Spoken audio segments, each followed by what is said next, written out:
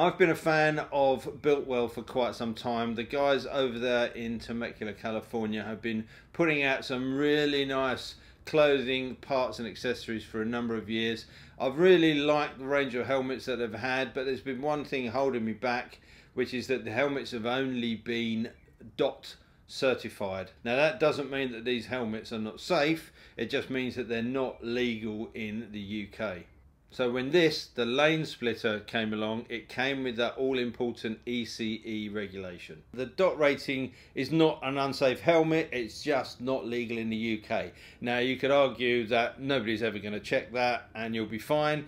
The worry that's always been in the back of my head is that I have a nasty accident, I'm laying in a hospital bed, unfortunately, somewhere, and uh, somebody is explaining from the insurance company to my wife that uh, they're not paying out because I wasn't wearing a legal crash helmet. The lane splitter helmet has an injection molded ABS shell, which means that it's tough but it's pretty lightweight. This weighs in at roughly 1500 grams. This beauty is available in eight different colorways. I went for the flat titanium which I think is a really nice looking helmet. That looks pretty badass. The other colours available are bronze metallic, flat black, flat silver, gloss black, gloss blood red, gloss white and the special edition rusty butcher.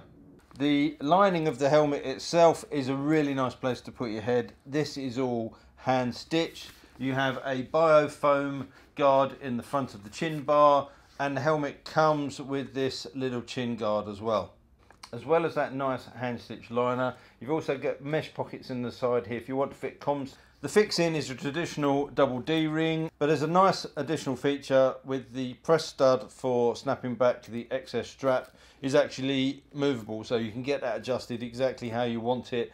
In terms of ventilation you have these three elements in the front chin bar and a small element on the side here these are permanently open. There's no functionality for you to be able to close. They are there all the time. And you've got a really nice slick venturi at the back, which is just going to help to draw that warm air out. And when it comes to the visor, the eye ports are cut back a fair way. So vision from this is really good. And there will be a few pair of goggles you can wear with this helmet as well. The fastening system is really simple. You've just got this little brass pin and a hole in the visor. So you lift that visor up by popping it off there. And again when you come to shut it just to push down on that and it's locked. Nice and simple to do. Nice and simple with your gloves on. The visor itself is easy to remove. You've just got a, a screw to undo here and the visor pops off. And as well as the clear visor that comes with the helmet Biltwell offers seven different coloured varieties that you can upgrade to.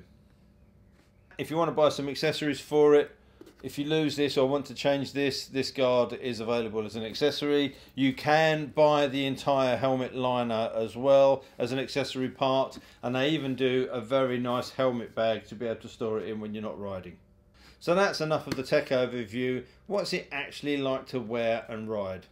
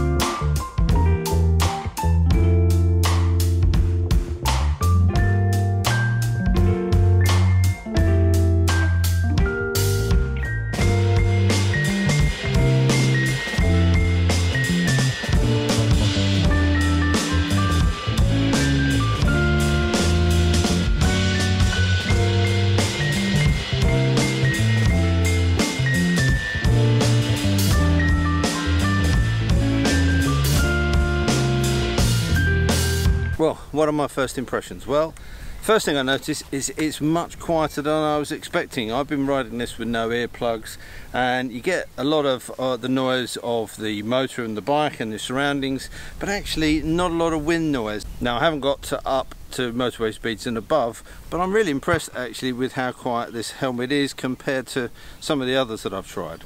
These three vents on the front are fantastic. Really good airflow, plenty of cooling air coming through. I really like that. I guess if you're riding in colder conditions you might want to have to stick some tape or something behind it because you can't close those off. But in uh, uh, warm or hot climates this is going to be perfect and that Venturi seems to work well you get a decent amount of airflow despite the fact there's no vents on the front at the top here you get a really decent airflow through the helmet fit wise well it's very comfortable I think it's probably more of a, a round shape head than an intermediate oval that will fit this better. Uh, I don't have any problems with this, it fits me quite nicely and I think actually it will fit a pretty broad range of head sizes. Me personally, I have to be honest and say this is more comfortable than my Bell Bullet. If you ignore the price, this is still a really great helmet and it's one that I think is going to be pulled out of the cupboard more often than not. If you factor in the price, then it's an absolute bargain. Anyway, that's enough chat from me. I'm going to get back out and give it some more road testing.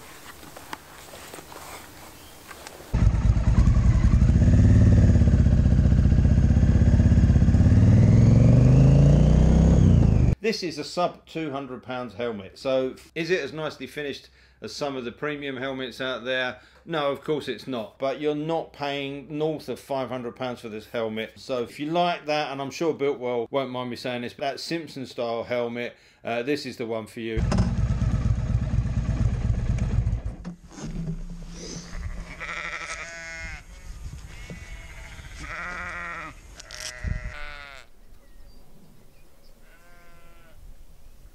So there you have it, the Biltwell lane splitter helmet.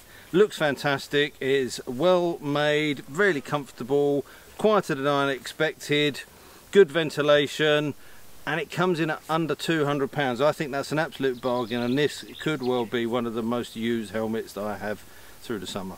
I hope you found that review useful. If you've got any comments or questions, you know where to put them down below. And all that leaves me to say is thanks for watching. Until next time, take care, ride safe, and that be better off. Yeah.